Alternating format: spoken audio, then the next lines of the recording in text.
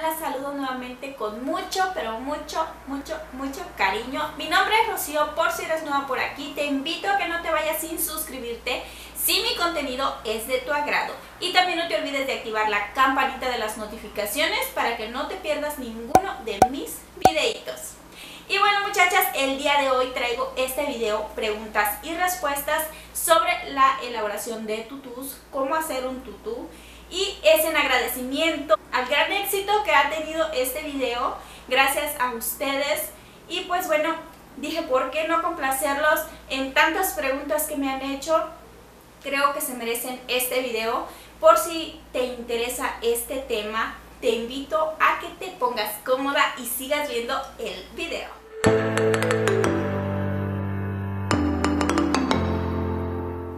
Ok chicas vamos a comenzar y pues la primera pregunta yo la anoté aquí.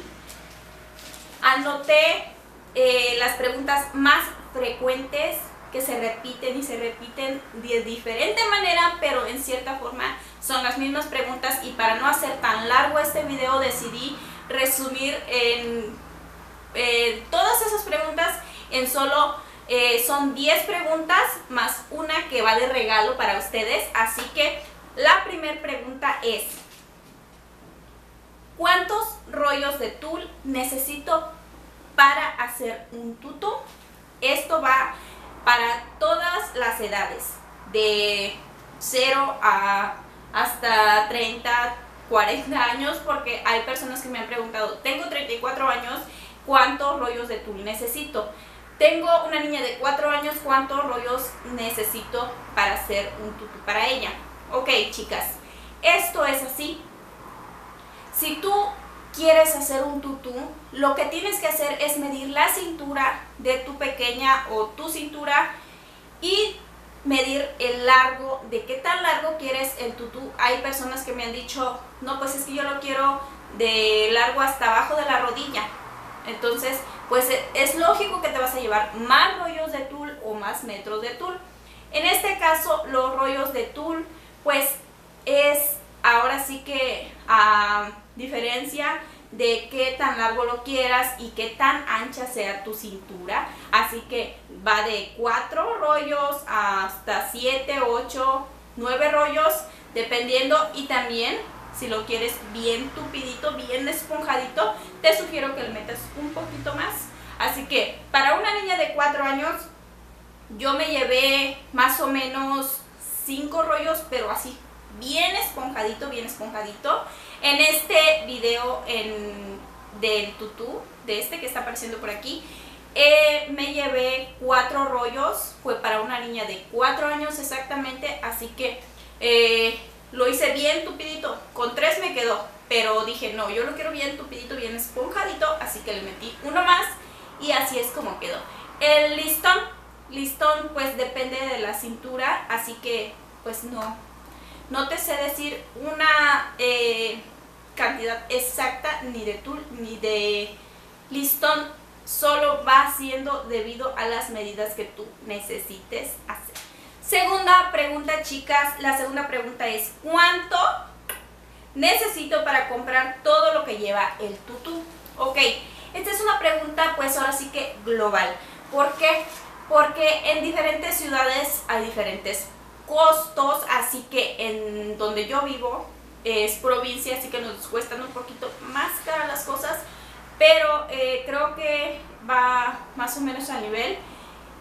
El rollo de tul aproximadamente ahorita está en 30 pesos y el metro de tul está a 20 pesos, chicas. Así que ustedes vean qué les conviene más. Entonces, aproximadamente cuánto necesitas para hacer un tutú, depende para qué edad, qué tamaño y qué cantidad de tul necesites. Si tú necesitas un tutú para una niña de, vamos, 6 años, te llevarías más o menos como unos 6 rollos y de largo obviamente quedaría un poquito corto que sería de unos 30 centímetros y serían más o menos 180 de los 6 carretes de tul más el listón que te puede costar 4 pesos el metro, si te compras 2 metros para hacerle un moño bien voluminoso, pues te llevas 188 pesos para una niña de 6 años, igual hasta para una de 8 años sería casi la misma cantidad. Vamos con la tercera pregunta y es, ¿cuánto es el ancho de cada tira de tul? Ok chicas, si compras el tul por metro, es lógico que ahí tú tienes la opción de dejar el ancho, de decidir o elegir el ancho que quieras tú eh, cada tira de tul. Lo puedes hacer desde 10 hasta 15 centímetros. ¿Por qué no hacerla más chiquita, chicas? Porque realmente no sirve. Se arruga bien feo y sería un desastre total. Y pues creo que lo más recomendable son 15 centímetros, que es lo que, cada, lo que trae cada rollo de tul. El rollo de tul trae 15 centímetros de ancho. ¿Cuántos rollos de tul necesito? Ok, es lo que les comentaba antes. No es una cantidad exacta, pero varía. Si lo quieres para una bebé es lógico que te llevarás unos dos rollos. Si lo quieres para una niña de 2, 3, 4 años, te llevas de 3 hasta 6 rollos y así sucesivamente va aumentando dependiendo el largo y el ancho de cada tutú. La pregunta número 5, chicas, es ¿qué es mejor, listón o resorte? Ok, aquí en esta pregunta yo les respondo muy amablemente. Tengo otro video donde les hago un tutú de resorte, por aquí va a estar apareciendo y en la cajita de la descripción les voy a dejar el link realmente es mucho más fácil con listón, porque es práctico y rápido. En cambio con el resorte le batallas un poquito más, pero también queda muy muy bonito y súper práctico porque nomás lo metes. Igualmente el listón solo tienes, es cuestión de amarrarlo, hacer su mollito y listo. La diferencia es que el listón se corre un poquito, o sea, en la cintura de la pequeña si lo pones sobre un payasito, pero si lo pones a la piel eh, no se mueve. En cambio, el tutú de resorte no se mueve porque se ajusta directamente a la cintura. Entonces, ¿cuál es mejor? Realmente ustedes sabrán decirme porque esto ya es a opción de cada quien. Ok chicas, vamos con la pregunta número 6 y esta dice así. Aproximadamente cuántas tiras de tul necesito. Ok, esto se va otra vez para atrás y vamos con la pregunta número uno. No es una cantidad exacta, chicas, dependiendo la medida de cada tutú es la cantidad de tiras que te vas a llevar. Para el tutú de este video yo me llevé 140 tiras aproximadamente. Así que depende del largo, del ancho, la cantidad de tiras que te vas a llevar. La pregunta número 7, muchachas, es la siguiente. ¿Por qué tiene que haber una tela de terciopelo debajo al cortar el tul? Ok, muchachas, esto es bastante simple. Para que no se corra el tul a la hora de cortarlo, para que no se te mueva. Y esto facilita el corte de tul, más que nada por metro y también por rollo, porque pues acomodas la tira, la cortas. Es mucho más fácil y te facilita el trabajo. La pregunta número 8 dice así. ¿Siempre tiene que llevar medidas? Pues realmente y francamente no.